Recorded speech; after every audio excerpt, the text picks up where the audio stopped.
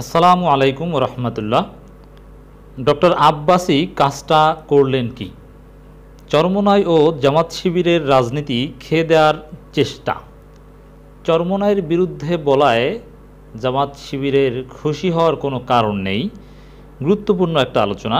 Doctor Enayetullah Abbasi, তিনি মেধাবী মানুষ, জনপ্রিয়তা আছে, তার কথার তাসিরও ইসলামপন্থীদের একটা অংশের প্রতি আছে এবং তিনি অত্যন্ত সূক্ষ্মদর্শী। সূক্ষ্মদর্শী এই সেন্সে তার যে অ্যাক্টিভিজম এটা খুব পারফেক্টলি করতে পারেন।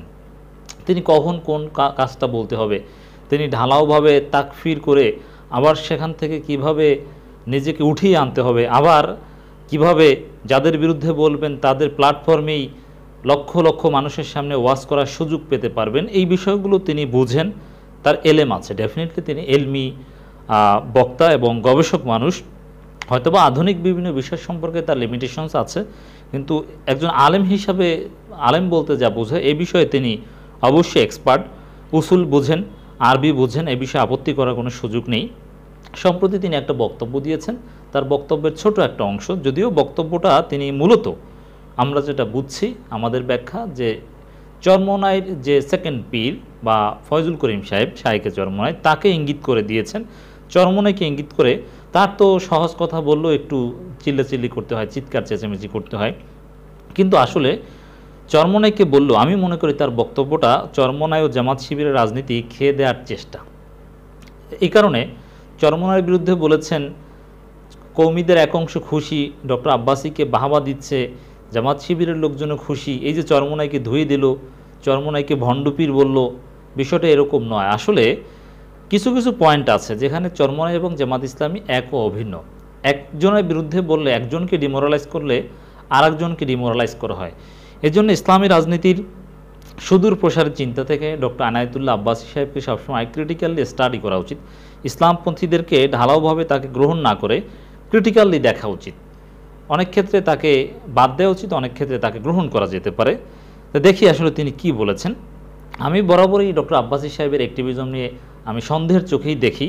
তার অনেক কথাবার্তার মধ্যে ইনকনসিস্টেন্সি আছে, অনেক কথাবার্তা দূরদর্শিতাপূর্ণ নয়, অনেক কথাবার্তা আছে তাদের একটা নিজস্ব দৃষ্টিভঙ্গি অথবা তিনি কার লোক, এইসব বিষয় নিয়ে অনেকটা সন্দেহের বিষয় আছে। অনেক কথা doctor Enayetullah Abbasi conspiracy theory এবং সবচেয়ে যে কথাটা আমি আবারও বলে, আবারও বলছি, ডক্টর এনায়তুল্লাহ আব্বাসী ভালোভাবে জানেন এদেশের হুজুগে ইসলামপন্থীদের কীভাবে ইউজ করতে হয়। কীভাবে তাদের বিরুদ্ধে বলে আবার তাদের দাওয়াত নেওয়া যায়। এই বিষয়ে কিন্তু তিনি এক্সপার্ট তার অতি কথন আছে অনেক কিছুতেই। যেমন কথায় কথায় দালাল বলা কনস্পাইরেসি থিওরি যেটাকে আমরা বলি, অমুকের দালাল, এটা অমুকের ষড়যন্ত্র, ইহুদিদের দালাল। এই কথাগুলোর অতিরঞ্জন বা মাত্রাতিরিক্ত ব্যবহার, ভিত্তিহীন ব্যবহার তার বক্তব্যের মধ্যে বরাবরই থাকে। আর তাকফির করার ভ্রান্ত মানহাজের উপর তিনি এখনও অধিষ্ঠিত আছেন। তিনি সেখান থেকে রুজু করেননি। তার একটা ছোট বক্তব্যের একটা অংশ নিয়ে আমি অ্যানালাইসিস করব। তার বক্তব্যের আগের পরের অংশ আমি শুনেছি। আমি সংক্ষিপ্ত অংশ আলোচনা করলে তার বক্তব্যের কাটসাট বা ভুল ব্যাখ্যা হওয়ার সম্ভাবনা নেই। তিনি বলেছেন, আমি অবাক হয়েছি। মুসলমান, এই দেশে কিছু লোক ফতোয়া দিচ্ছে। গণতান্ত্রিক নির্বাচন হচ্ছে শ্রেষ্ঠ জিহাদ। এখন এই গণতান্ত্রিক নির্বাচনকে জিহাদ কে বলেছিল? শাহেকে চরমনাই ইসলামী আন্দোলন বাংলাদেশের নায়েবে আমির জনাব মুফতি ফয়জুল করিম সাহেব। এটা শুনে তিনি অবাক হয়েছেন। হ্যাঁ নির্বাচন বা ভোট, জিহাদ, এটা শুনে আমরাও অবাক হয়েছি। আমরা এলমিভাবে এটা খণ্ডন করেছি। এই বক্তব্য গ্রহণযোগ্য নয়। শুধু ফজল করিম সাহেব নয়, জামাত ইসলামী ডক্টর শফিকুল ইসলাম মাসুদও এই ধরনের কথা বলেছেন। আমরা সেটারও সমালোচনা করেছি, তিনিও ভুল বলেছেন। এটা এলমিভাবে গ্রহণযোগ্য নয়। কিন্তু সমস্যা হচ্ছে ডক্টর এনায়তুল্লাহ আব্বাসী বলছেন যে কিছু লোক ফতোয়া দিচ্ছে। শাহেকে চরমনে যেটা বলেছেন ওটা ফতোয়া নয়। একটা হচ্ছে একটা কথা বলা বক্তব্যের মধ্যে, কথার কথা বলে ফেলা। হ্যাঁ যেভাবেই বলুক না কেন, কথাটা ভুল। কথার কথা বলে ফেলা বা কোনো একটা বিষয় আলোচনা করতে গিয়ে এরকম একটা বিষয়ে চলে আসা, এটা এক জিনিস। আর ফতোয়া দেয়া বা রুলিং দেয়া এক জিনিস। অতএব শাইখে চরমনায়ের অন্য একটা বিষয়ের উপর বক্তব্য বক্তব্যের মধ্যে তিনি কথাটা বলেছেন যে ভোট দেওয়াও জিহাদ। সেই কথা বলা আর ফতোয়া আকারে বলার মধ্যে অনেক পার্থক্য রয়েছে। তো এখানে ডক্টর এনায়তুল্লাহ আব্বাসী জাস্ট কথার কথা একটা বক্তব্য হ্যাঁ ভুল কথা, সেটাকে ফতোয়া হিসেবে চালিয়ে দিয়েছেন, এটা একটা ভুল করেছেন তিনি, এটা এলমি খেয়ানত করেছেন।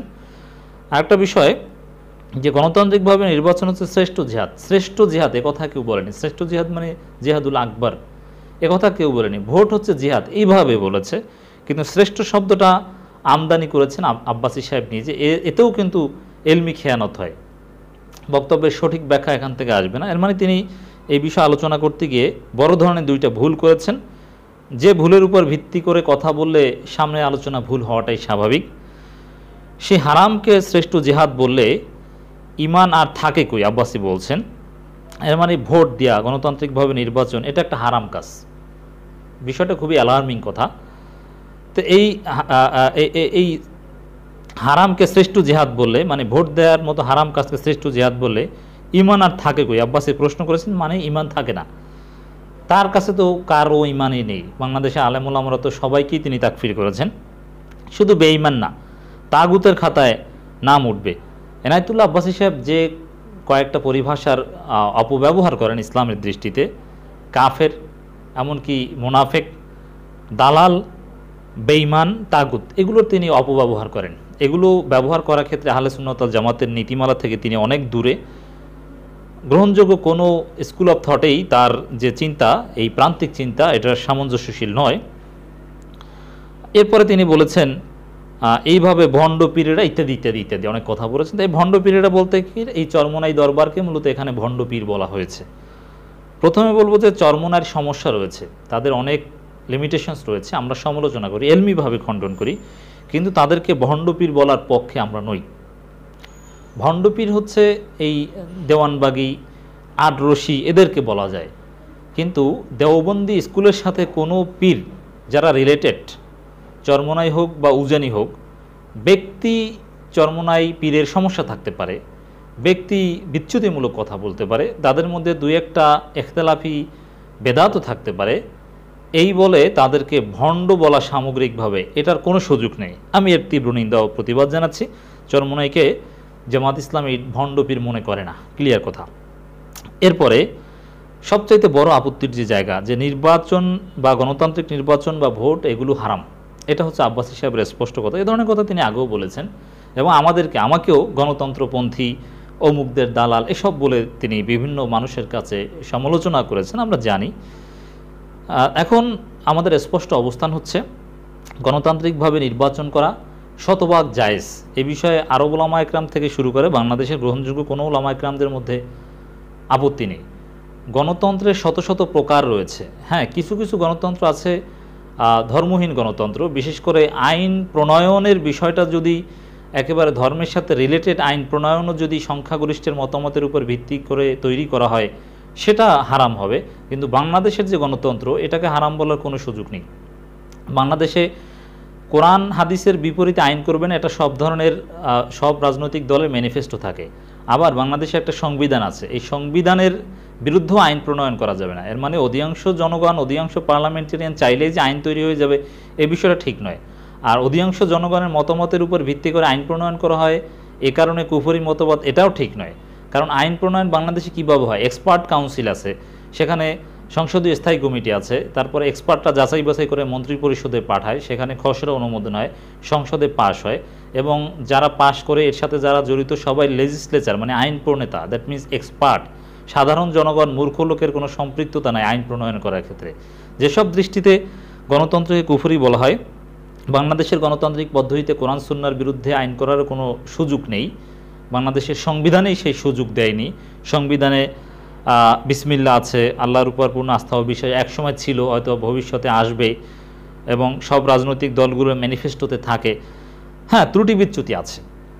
এই বলে ঢালাওভাবে একেবারে কুফুরি বলা, হারাম বলার কোনো সুযোগ নেই। এখানে আব্বাসি সাহেবের ফতোয়াটা যদি এ বিষয়ে আমাদের আলাদা আলোচনা আছে, আমরা চাইলে একাডেমিক আলাদা আলোচনা করতে পারি, এটা অনেক সময়ের আলোচনা।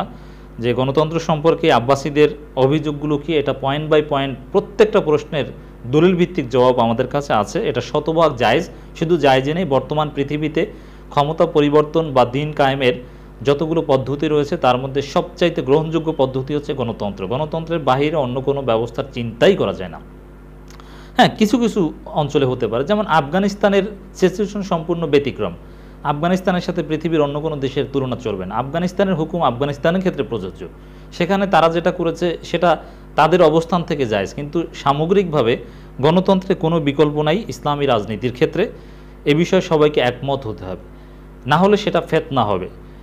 যদি গণতান্ত্রিক পদ্ধতির ভোটকেই যদি বাতিল করে দেওয়া হয়, নাজায়েজ বলা হয়, তাহলে তো চরমনে এবং জামাত শিবিরের রাজনীতিকেই খেয়ে দেওয়া হয়। কারও রাজনীতিই থাকে না। বাংলাদেশে আলেম ওলামা সবাই কিন্তু এই ভোটের রাজনীতির সাথে কোনো না কোনোভাবে জড়িত এক্সেপ্ট আব্বাসির মতো দুই একজন। আব্বাসি সাহেবও তো এই গণতান্ত্রিক পদ্ধতির সুবিধা নিয়ে চলেন। তিনি তো এটাকে অস্বীকার করেন না, তিনি তো এই রাষ্ট্রের আনুগত্য করেন। কিন্তু আবার এটাকে ঢালাও হারাম বলার মধ্য দিয়ে একটা দ্বিমুখী নীতি চলে এসেছে। যাই আমি এখানে গণতন্ত্র জায়েজ এটার একাডেমিক আলোচনা করছি না জাস্ট প্রাসঙ্গিক দু একটা উত্তর দিচ্ছি। এখানে আমার মূল পয়েন্ট যেটা এই চরমনাইকে ইঙ্গিত করে? ভণ্ডপীর বলেছে, ভোট জিহাদ এই ভুল কথা বলেছে, এ কারণে সামগ্রিকভাবে ভোটকে আব্বাসী সাহেব হারাম করে দিয়েছেন। এতে যদি জামাত শিবিরের লোক খুশি হয়, এটা তাদের অদূরদর্শিতা। আমি মনে করি আব্বাসী সাহেবের ক্রিটিক করা উচিত, তাকে সন্দেহের চোখে দেখা উচিত এই ধরনের বক্তব্যগুলোর প্রতিবাদ করা উচিত। ভোট হারাম, গণতন্ত্র হারাম, এগুলো জনগোষ্ঠীর ইসলামপন্থীদের একটা অংশকে উগ্রবাদের দিকে ঠেলে দেওয়া উচিত। আমরা এই বক্তব্যে উদ্বিগ্ন। আমরা চাই যে বাংলাদেশে সবাই গণতান্ত্রিক হোক, গণতান্ত্রিক পদ্ধতিতে ইসলামী রাজনীতি করুক। বাংলাদেশে অন্য কোনো উগ্রবাদ বা অন্য কোনো পদ্ধতির প্রয়োজনীয়তা এই মুহূর্তে নেই। বাংলাদেশ শান্তিপূর্ণ দেশ, শান্তিতেই চলবে। এটা আব্বাসী সাহেবের এই বিষয়টা সবার প্রতিবাদ করা উচিত, দূরদর্শী হওয়া উচিত। জামাত শিবিরে কোনো প্ল্যাটফর্ম ব্যবহার করে যেন তিনি ভুলেও এ ধরনের শব্দ উচ্চারণ করতে না পারেন, এটা খেয়াল রাখতে হবে, এটা জামাতের জন্য চরম ক্ষতিকর হবে।